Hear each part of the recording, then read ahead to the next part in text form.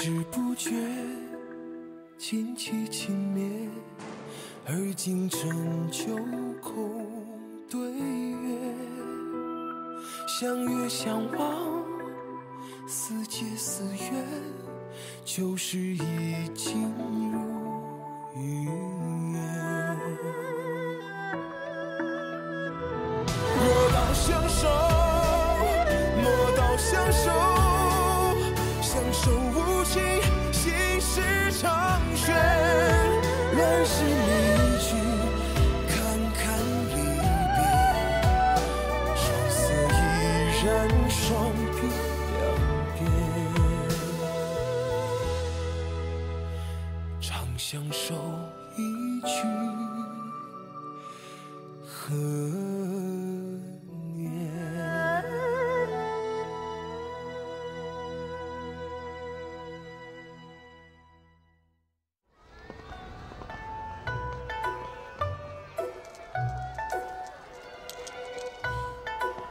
上次我来攻略的时候，这些酒坊一听我将葡萄酒卖到中原去，给多少钱也不卖。还不是因为你没能耐打通葡萄酒商贸的大门。如今女皇已经下旨，让所有的酒坊开放酒坊与军妓的买卖。老板，嗯，咱们军妓又有的赚了。哼那今天我们从这里找到一家最好喝的葡萄酒，大量运到中原，那我们就可以再大赚一笔。去找些好的吧。那就这一家吧。老板，这家有什么好的？我心情好，就一切都好。哎，客官，来来来来，看一看啊！哎，老板，把你们这儿最贵、最好喝的葡萄酒拿出来给我尝尝。好。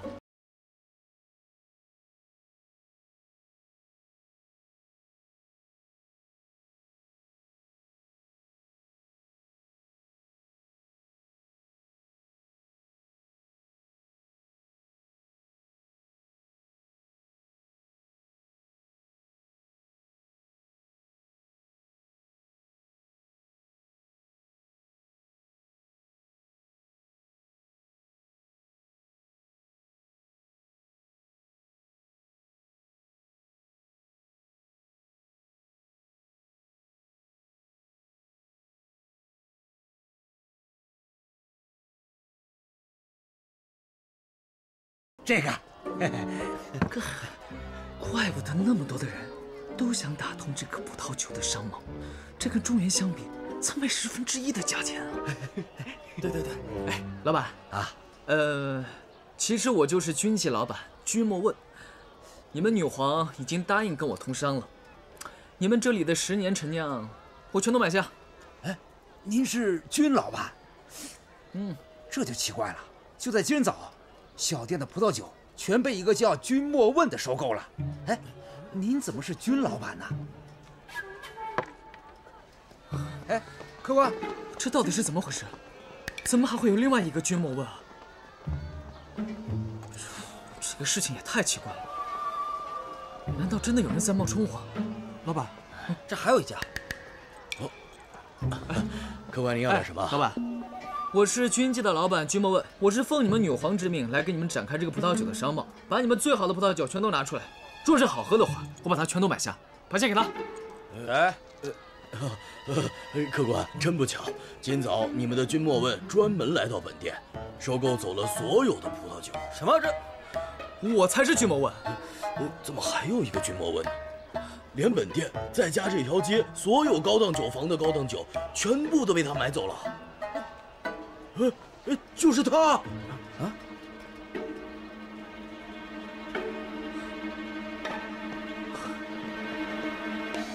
哼，你什么时候变成君莫问了？只许你是，不许我是啊，段太子。那为了报答你找到肉苁蓉，我将这个城里所有的葡萄酒都一并收购了。这一车只是样品而已，特意送给段太子。助军纪，生意兴隆。原来如此，你就是为了报仇，对吗？哎，我们俩是好朋友啊，哪来的仇啊？对不对？就算是这样，我也不会把木剑交给你。我告诉你，这件事情跟木槿无关。我袁飞白，只是不想欠别人人情而已。这三年，啊不不不，加上她怀孕的那一年，总共四年的时间，我也是天天跟她在一起。你被关在地牢里的这三年时间，我亲眼看着她扮成君莫问，为的就是保住你的生命。而你的元德军缺钱的时候，我也看着他受尽委屈，为的就是帮你筹钱。当你的军队遭遇了瘟疫的时候，我看着他，明知这个葡萄酒的贸易难做，他还是要以此为条件逼张之言放过自己，为的就是到西域里为你去找肉苁蓉。你又为他做了什么？啊啊！你买了这个城中全部的葡萄酒，还有这车样品。有的时候我真的很怀疑，到底他是男人，还是你才是女人呢？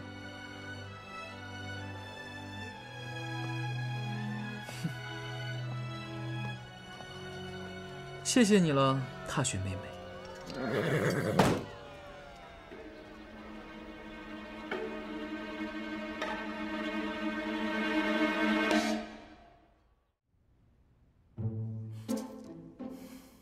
看到段太子穿着一身男装，还真挺像个男人的。本太子穿上了女装，就美得像花魁；穿上男装，就是个翩翩美少年。我看有些人，褪去了一身的盔甲，也好像个小妹妹一样。哎，你要吃冰糖葫芦吗？说实话，飞白本想送段太子一身盔甲。作为谢礼，但是看到段太子柔弱的像个女人一样，这盔甲上身，岂不是杀人于无形啊？飞白从来不干这些造孽的事。你在说谁呢？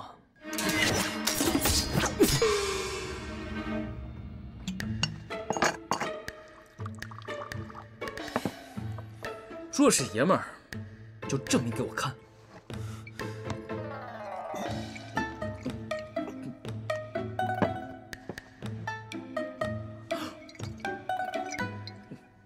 久，继续。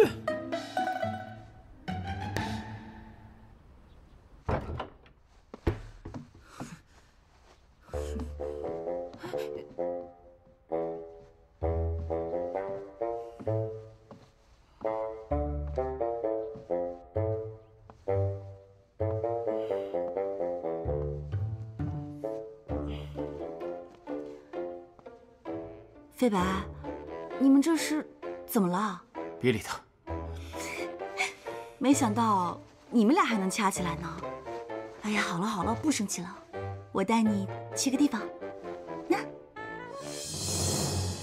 启禀家主，搜遍了整个无忧城，也没有发现宋明磊的踪迹。信中说宋明磊被袁清江召回西都了，昨晚走的。你们这就组织一队精卫人马赶回西都，趁乱杀了宋明磊。是。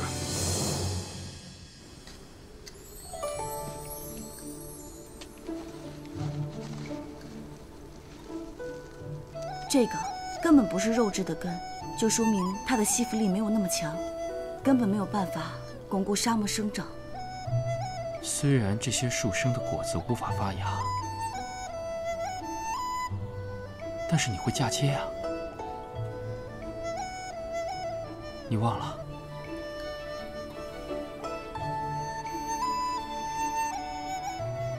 可是，树母神之所以可以长成参天大树，那是因为它有强壮的根，可以为其他的树枝提供养分。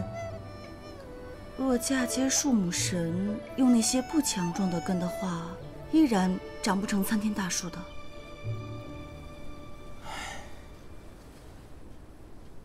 可是，总不能让飞爵的家消失在这荒漠中吧？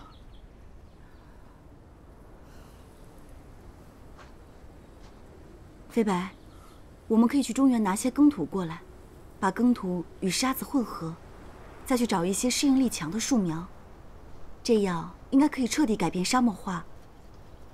只是，只是这样经费过高，想要办成还是很难的。大地之心，什么是大地之心啊？我听父王说起过，它就藏在宫月城中，它是大地之宝，它是无尽的财富，它是不管在哪儿都可以长出大树的种子。但是目前，我不确定我们是否能找到这个种子。但是我能确定的是，这是我们最后的希望了。嗯飞白，我们这就去无忧城。嗯，好，走。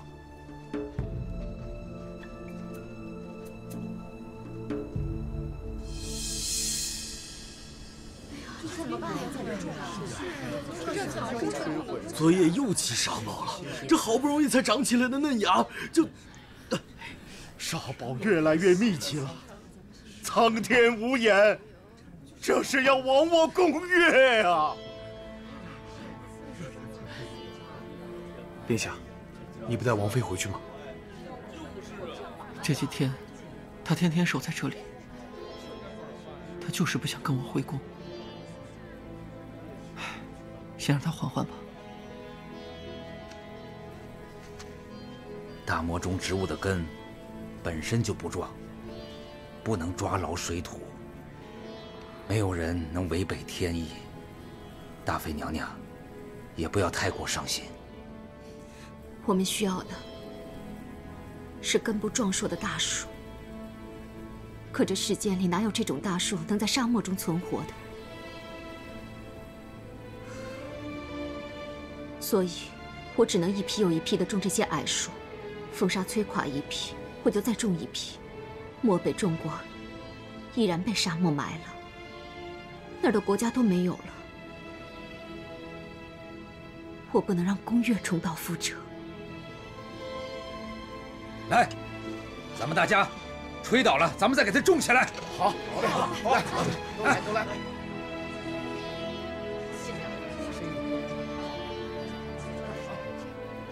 不论我怎么努力，所做的一切，在大自然面前，皆不过是皮肤汗数。大地之心，也许才是宫月最后的希望。无忧城。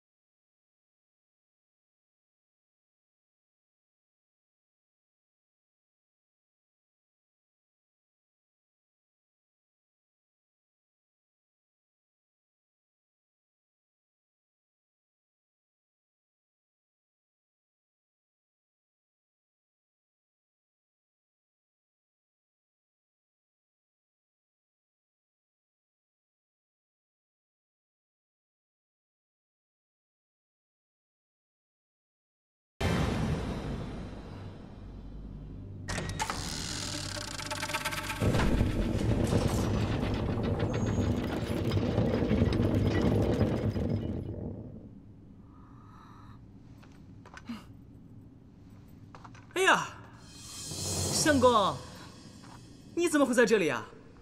这个轰天雷把我都给吓死了。你怎么来了？你去哪儿我就去哪儿，反正你休想再甩开我。切！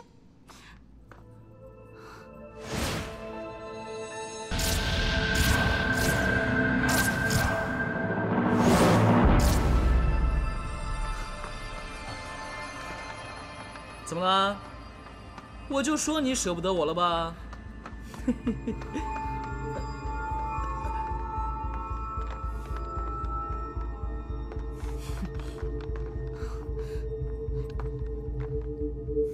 你在摸什么呀？飞白，根据袁家的传说，这个木仙子变成了一棵树，大元神变成了树下的沃土，大地之心。可是为什么只有这间石室里面有大元神和木仙子呢？难道跟他们的故事有关？我觉得没有。我知道了，大地之心，大地之心就在那个莲花的后面。这大地之心的传说我也听说过，这是个绝世瑰宝。哼，可是这只是个普通的雕刻嘛，怎么可能会藏着大地之心呢？你看看你呀、就是不好好读书，每天就知道啊啊！嗯。《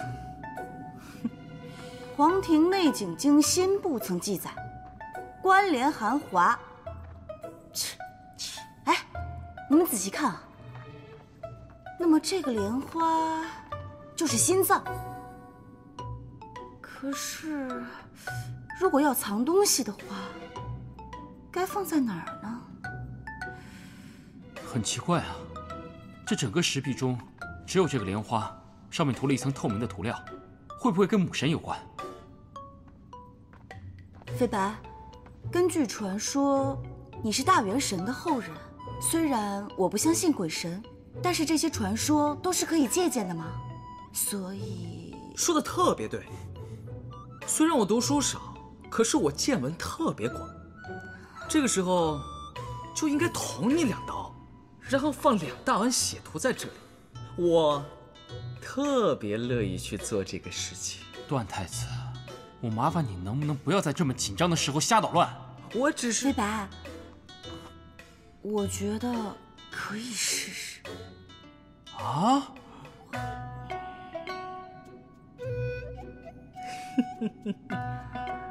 我不是赞同你啊。嗯。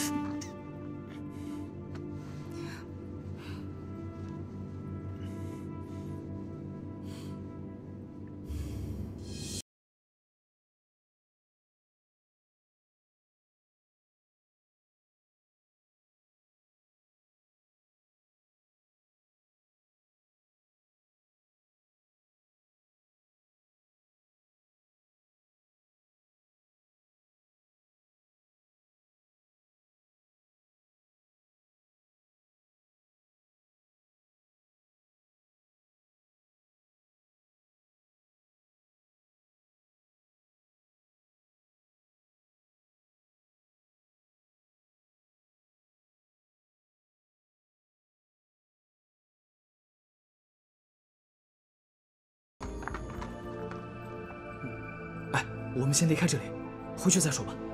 好。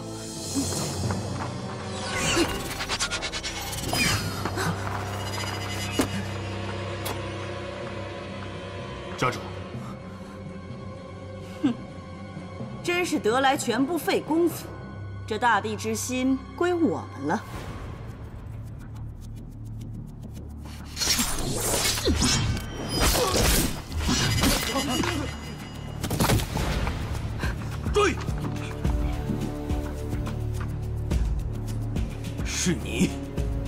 飞爵，追！快！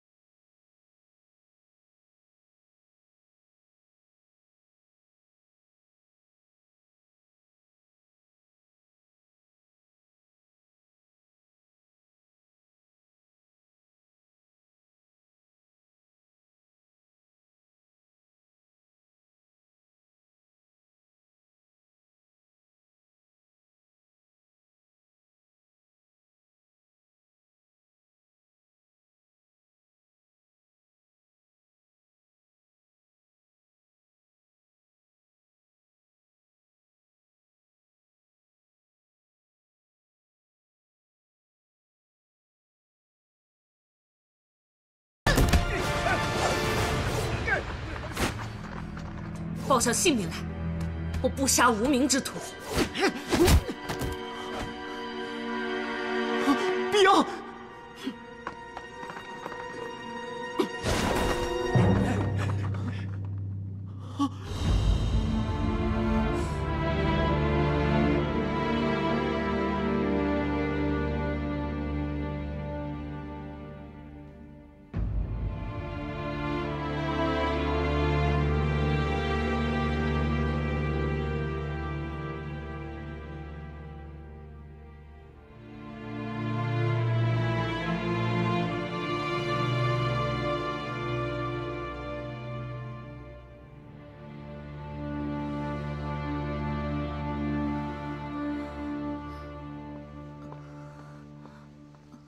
碧莹，你醒了。母皇，大地之心没有被他们抢走吧？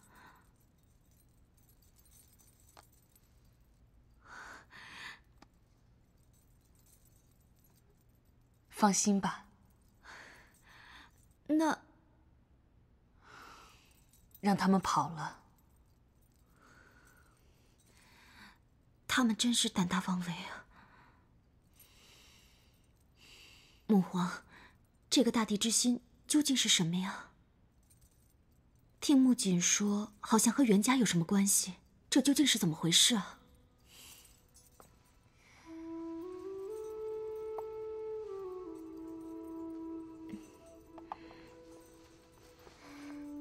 这无忧城啊，本是袁家的先祖所修建的，这信件便是建造者所写。一千年前，袁家的先祖是外交使节，那会儿去了天竺，回来的路上路过了宫月，这外交使节的儿子啊，就爱上了咱们宫月的公主，于是啊，就留下做了驸马。可是那时候，咱们宫月正遭受着风沙的荼毒，面临着亡国，这袁家的先祖就看不下去了。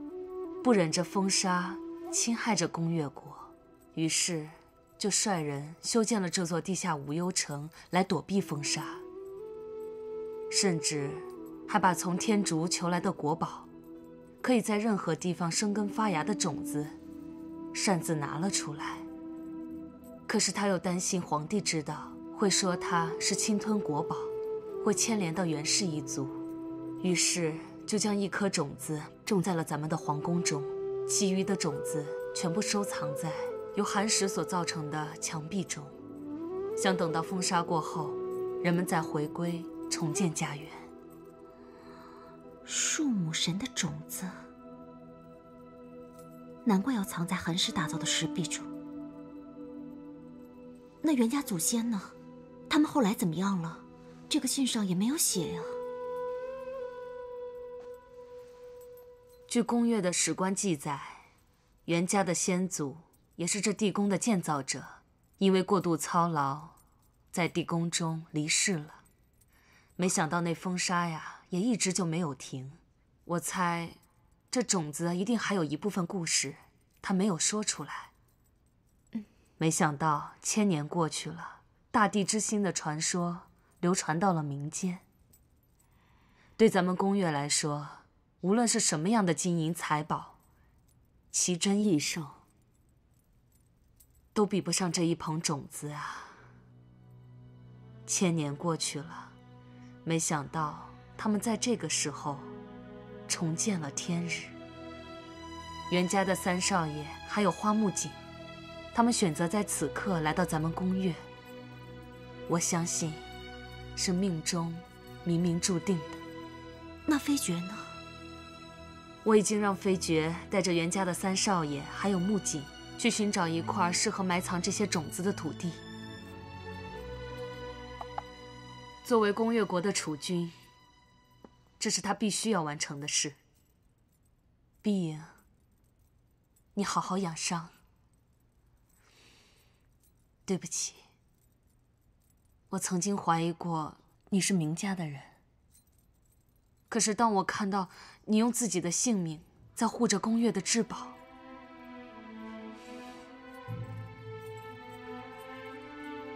我代表宫月的全部臣民，衷心的向你说一声谢谢。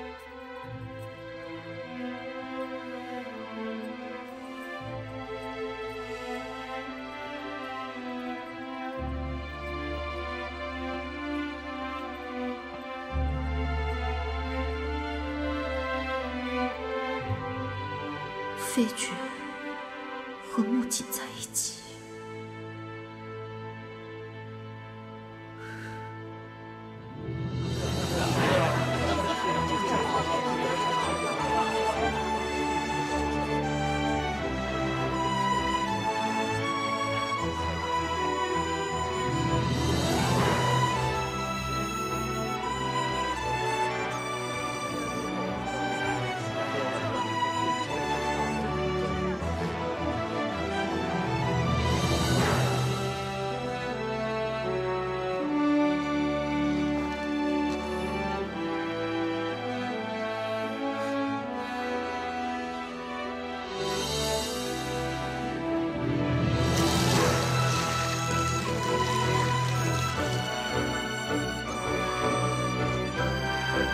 感谢大漠之神赐予我们大地之心，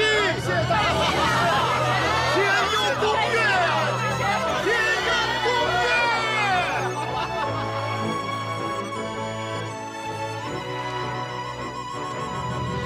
感谢大漠之神的庇佑，这片土地将会成为永远的防护林，守护着宫月。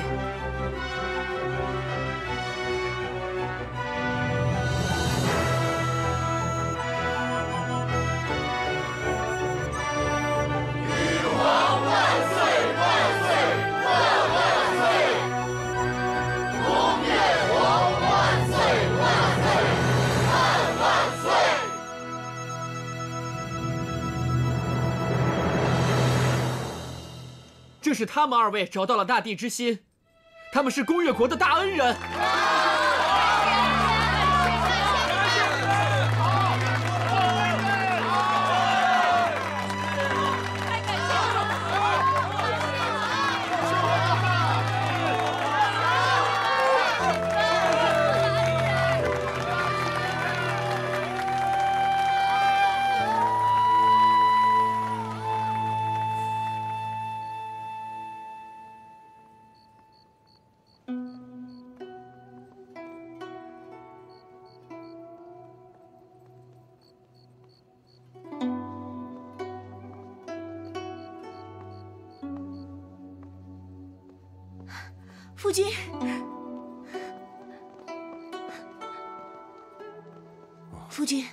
在此？我听下人说你回来了，便过来看看你。大老远跑去上香，辛苦你了。为袁家祈福，不辛苦。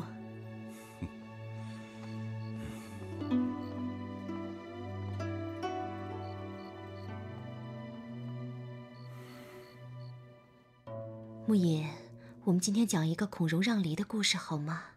好。从前啊，有一个父亲，他有六个孩子，最小的那个孩子呀，他就叫孔融。有一天，父亲回家的时候，给他们拿了六个梨。父亲想最先把最大的一个留给他的小儿子，所以。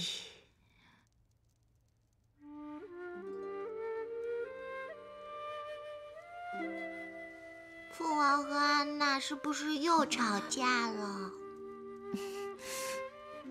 没有，木影乖，你快点睡觉。父王跟阿娜呀没有吵架，阿娜给你把故事接着讲完。木影，父王，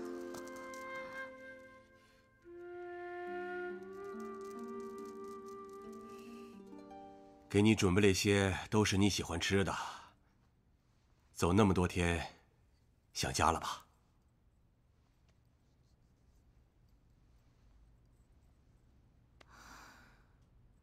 怎么了？此次远行，才发现战争的烽火愈烧愈烈，这才知道王爷殚精竭虑的为了家和国有多么不容易。我心疼你，也敬佩你。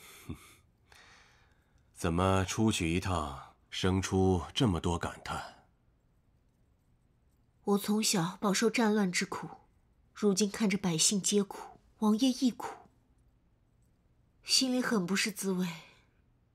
王爷，我也想像男儿一样从军，为王爷分忧。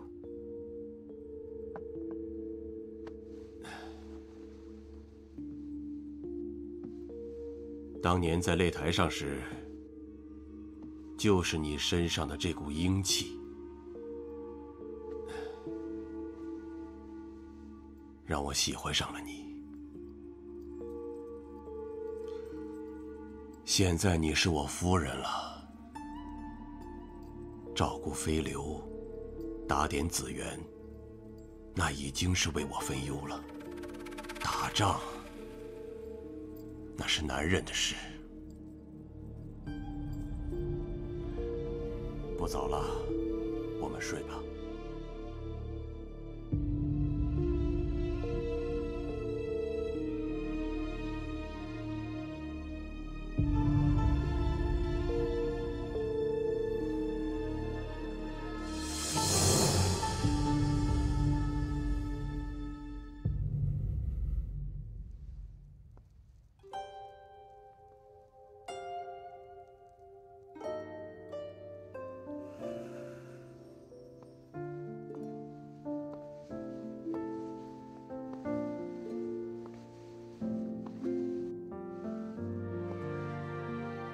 你来找我，是想质问我跟明家有什么关系吧？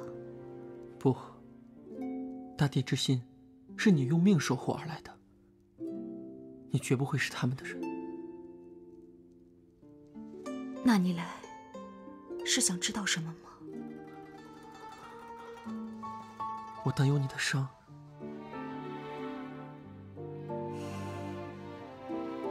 我没有伤到要害，放心吧。那天的话，我其实还没有说完。关于木丫头，我其实什么都想起来了。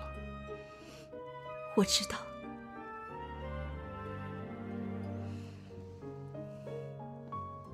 木影好久没有跟你一起睡了。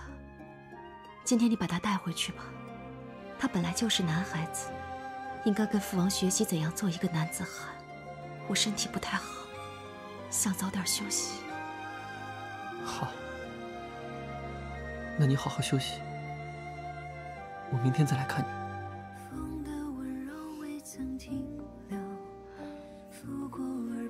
飞爵，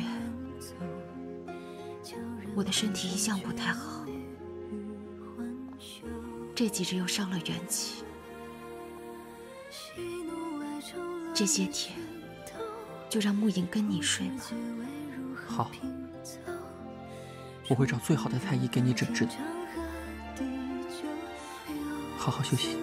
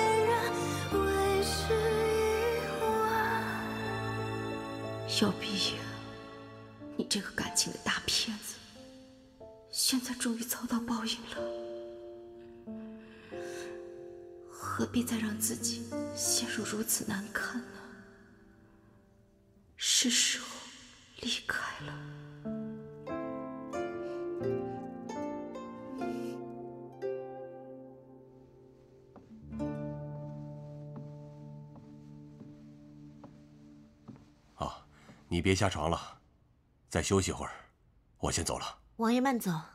嗯。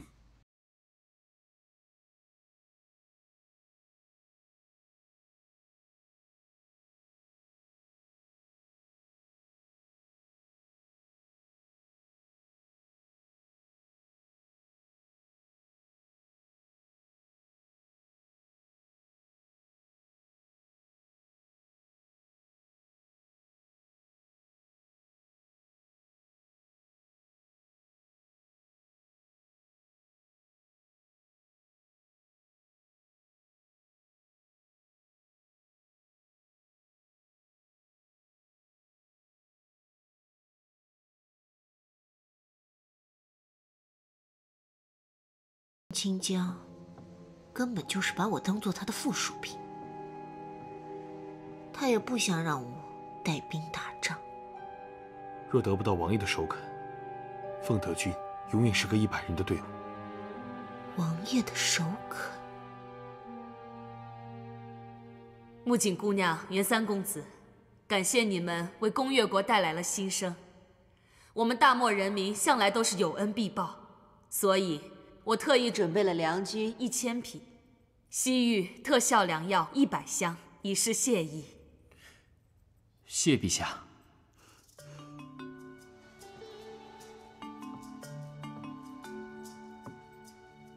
大地之心已经在此生根发芽，它将永远的守护着宫越的土地。这实乃是天降祥瑞，我们势必要举行一场祭祀，来感谢大漠之神的庇佑。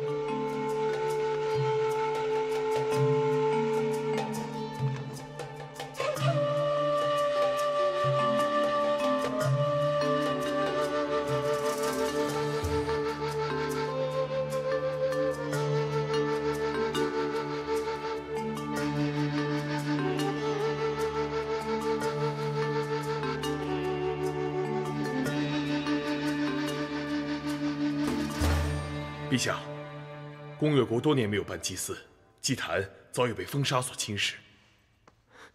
母皇，在树木神下找到大地之心的那间石室，那里不但空间大，更是给予宫越重生的地方，何不在此祭祀大漠之神？飞爵这次真是跟我想到一块儿去了。陛下，这间石室连接着无忧城，那可是名家的据点。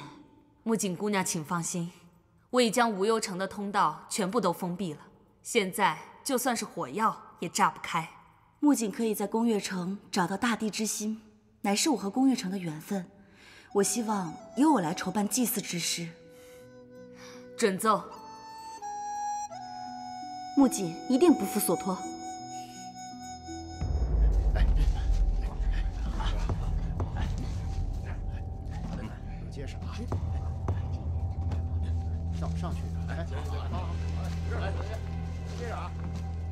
木槿，这次祭祀完之后，我们就该回去了。世人皆知，花西夫人被窦英华送给了段太子，于是花西夫人为踏雪公子守节而死。若花西夫人苟活于世，便是踏雪公子一生的耻辱。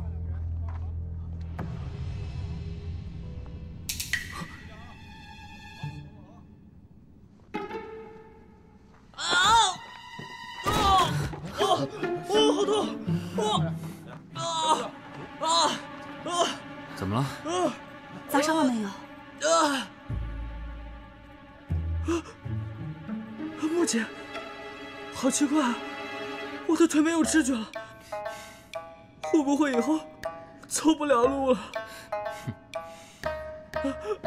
我帮你看看。呀，疼木槿，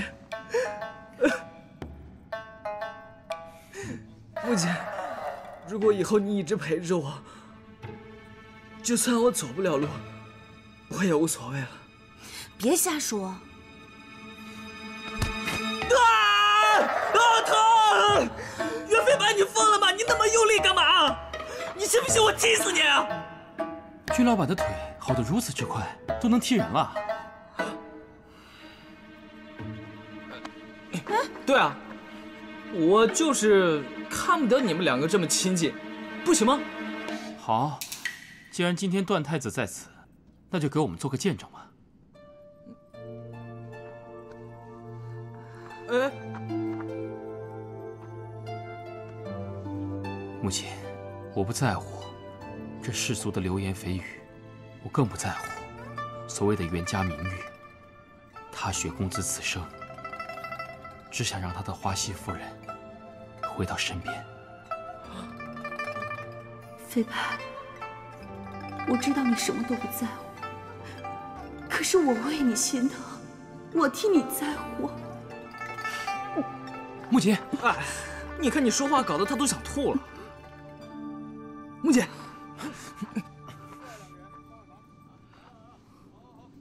陛下。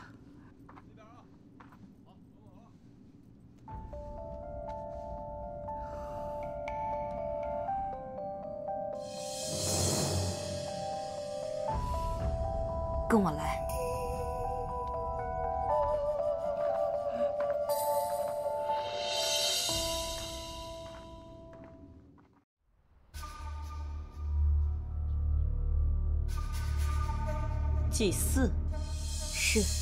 就在本月初八。哼，这女皇当真天真。她以为封死无忧城的地道，就可以安枕无忧的参加祭祀了吗？殊不知，这无忧城通往皇宫的入口有好几条。我一直在等待的机会到了，祭祀那日，便是宫月灭国之时。恭喜家主，夙愿即将达成。碧莹怎么样了？自从花木锦让袁飞爵知道碧莹姑娘是顶替她成为木丫头之后，袁飞爵对碧莹姑娘就一直很冷淡。碧莹姑娘很是伤心。花木锦这个贱人！初八那日，待我剿灭宫月皇宫之时，我第一个杀的。就是他袁飞爵和花木锦。等我取代宫月女皇，碧莹就是公主。到时候，我要把全天下最优秀的男人都绑过来，随他挑选。